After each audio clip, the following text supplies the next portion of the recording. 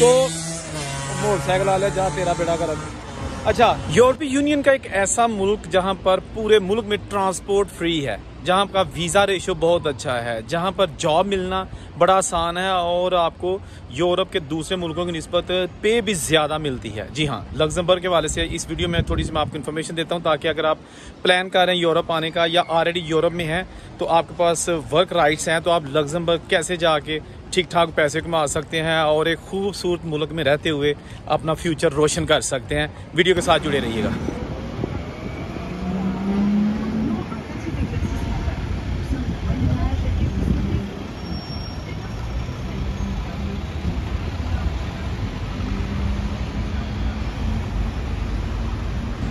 अच्छा लग्जमबर्ग की सैलरी के हवाले से और वहाँ पर किस किस्म की जॉब आप कर सकते हैं? उससे पहले मैं आपको थोड़ा सा बता दूँ कि लग्जमबर्ग उन यूरोपीय ममालक में से है जिन्होंने सबसे पहले यूरोपीय यूनियन का हिस्सा बनने का माहा साइन किया। यानी कि अभी इस वक्त यूरोपीय यूनियन के जो रुकन ममालक हैं, उनकी तादाद उनतीस हो चुकी है और लग्जमबर्ग ने 1985 में जब माहा किया था, यूरोपीय यूनियन का हिस्सा बना था, उस वक्त सिर्फ़ चार मुल्क थे और पांचवा लग्जमबर्ग था। तो लग्जमबर्ग एक छोटा मुल्क है, लेकिन इंतहाई खूबसूरत और अमीर मुल्कों में उसका शुमार होता है। स्विट्जरलैंड और लग्जमबर्ग, दो अमीर मुल्क हैं। लेकिन लग्जमबर्ग में बहुत सारे लोग ऐसे हैं जो इंग्लिश भी बोलते हैं, क्योंकि यूरोपीय कंट्री जितनी भी हैं, उनमें वहाँ की जबान ही ज़्यादा बोली जाती है, जैसे फ्रांस में फ्रेंच ज़्यादा बोली जाती है जर्मन में जर्मन, इसी तरह तमाम जो मुल्क है, उनकी अपनी ज़ुबान है। लेकिन लग्जमबर्ग में आप इंग्लिश भी बोल सकते हैं अच्छा वहाँ पर ना पूरे मुल्क में ट्रांसपोर्ट फ्री है। मैं पहले थोड़ा सा उसको बता दूँ कि क्यों फ्री है। देखे ना, अगर आप बस पे बैठते हैं ट्रेन पे बैठते हैं ट्रेन पे बैठते हैं, या इस तरह की जो फेरी आपको नज़र आ रही है, इस पे बैठते हैं तो आपको एक पैसा नहीं देना। उसकी रीजन ये है कि लग्जमबर्ग छोटा मुल्क है, अमीर मुल्क है, और ट्रांसपोर्ट बहुत ज़्यादा है वहाँ पे लोगों की अपनी। यानी कि गाड़ियाँ लोगों के पास बहुत ज़्यादा थी, क्योंकि हर बंदे के पास अपनी कार थी। तो हर वक्त वहाँ ट्रैफ़िक की लाइनें लगी रहती, और लोग जब भी सिटी जाते या किसी जगह भी उन्होंने जाना होता तो अपनी गाड़ी लेके जाते तो ट्रैफ़िक ब्लॉक हो जाती। बाकी हुकूमत ने सोच विचार करके फैसला किया कि हम ट्रांसपोर्ट ही फ्री कर देते हैं, ताकि लोग अपनी गाड़ियाँ घरों में रखें और बाहर आ जाएँ। ऐसा ही हुआ।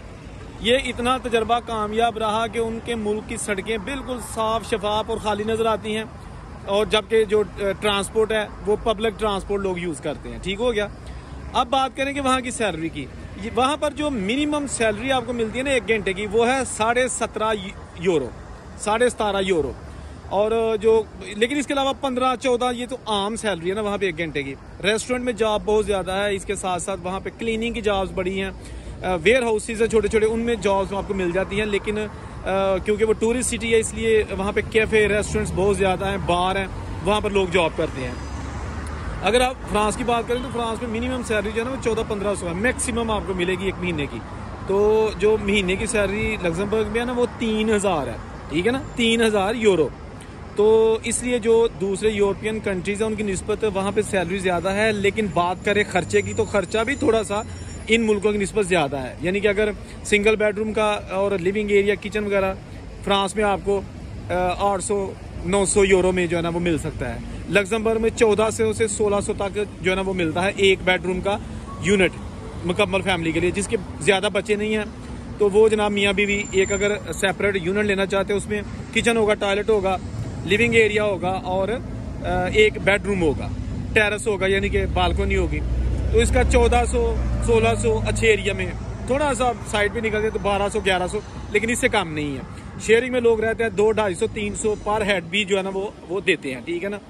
तो मेरी वाह चलती है मैं मेरी हैड नोट के तुर जे समुंदर के दरिया नदी के जो भी है यार पर अच्छा बहुत सारे ऐसे लोग हैं जिनके पास वर्क राइट्स है और वो इटली जर्मनी बेल्जियम फ्रांस वगैरह में रहते हैं और उनको अगर अपॉर्चुनिटी मिलती है तो वो लग्जमबर्ग में चले जाते हैं क्योंकि लग्जमबर्ग में जैसे आपको कहा है कि पे रेट ज़्यादा है क्राइम नहीं है वहाँ पे और बड़ा पुरान मुल्क है यूरो चलता है ऑफकोर्स यूरोपीय यूनियन का हिस्सा है इस वक्त जो लग्जमबर्ग में भी जो है ना, वो टेक्निकल लोग है ना, उनकी शॉर्टेज है। मतलब है, किसी भी फ़ील्ड के जो टेक्निकल लोग है ना, एक तो लोग होते हैं ना, जो मतलब है जस्ट आप ये समझ लें कि मजदूरी, बेशक उनके पास वर्किंग राइट्स होते हैं, लेकिन जस्ट मजदूरी कर सकते हैं। लेकिन कुछ ऐसे होते हैं, जैसे नर्सेज हो गए डॉक्टर हो गए अकाउंटेंट हो गए, ठीक है ना सी ए किया लोगों ने। इसके साथ साथ अगर आप उसमें जॉब कर सकते हैं कंस्ट्रक्शन में आपके पास डिप्लोमा है कंस्ट्रक्शन की जॉब वहाँ पे बहुत ज़्यादा है। इसके साथ साथ एज केयर हाउसेज हैं, ठीक है ना? जो कन्वीनियंस स्टोर है, वहाँ पे as a cashier sales person आप जॉब कर सकते हैं। तो बहुत सारी अपॉर्चुनिटीज़ हैं। रही बात वीज़े की गल तो सब वीज़े दी है। अच्छा वीज़ा बेसिकली जो भी शेंगन एरियाज़ है ना कैटेगरी इनकी सारी वीज़े की एक ही है। यानी कि आपको जनाब, अगर आप वहाँ पे वर्क परमिट पे जा रहे हैं तो वहाँ का वर्क परमिट होना चाहिए आपके पास। अगर विज़िट पे जा रहे हैं तो फिर तो कोई मसला नहीं है होटल बुकिंग करवा लें और रिटर्न टिकट करवा लें। बैंक स्टेटमेंट ठीक ठाक लगा लें चालीस पचास लाख की लगा लें तो ठीक है। वीज़ा अप्लाई करें ऑनलाइन, उसके बाद इंटरव्यू होगा, वहाँ जाएँ पासपोर्ट और सारे ओरिजिनल डॉक्यूमेंट्स ले जाएँ। अगर आप बिज़नेस करते हैं तो बिज़नेस की आप जितने भी सबूत हैं चैम्बर का लेटर है, आपके अपने लेटर हेड पे जो आपकी बिज़नेस की नोयत है, वो अगर सैलरी पर्सन है तो सैलरी स्लिप है, पिछले तीन महीने की हो जाए। एक ट्रैवल प्लान बना लें, कि आपने इस तरीके को जाना चाहते हैं इन इन होटलों में रहेंगे और उसके बाद वापस आ जाएँगे।